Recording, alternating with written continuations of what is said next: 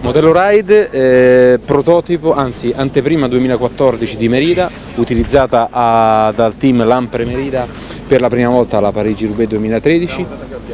eh, al Fiandre, eh,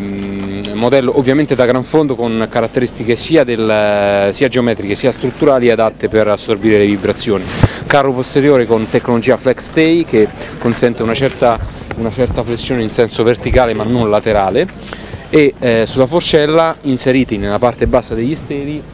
degli elastomeri che eh, permettono di eh, eh assorbire le eh, vibrazioni ad alta frequenza trasmesse dall'asfalto al corridore. Questa in particolare è la ride di Pozzato